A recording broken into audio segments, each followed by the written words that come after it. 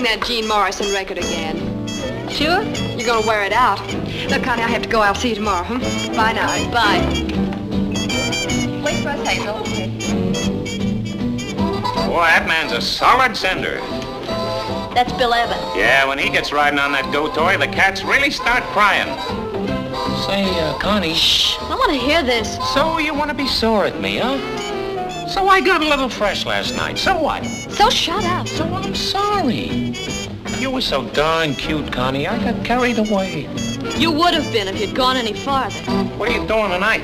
Nothing with you. Oh, what are you afraid of? Say, listen. I paid a nickel to hear this record. I can hear you free anytime. Okay. So I asked somebody else. I just thought you might want to drive over to Dixon with me to see Gene Morrison in person. Gene Morrison. Yeah. Gene Morrison playing in Dixon? Yeah, just for tonight. It's too bad I'm such an unpleasant guy. Ah, it would have been a lot of fun. Maybe I'll go with you, Cully. What do you mean, maybe? I'll go with you. So I'm a pleasant character again. I'll pick you up early, right after dinner.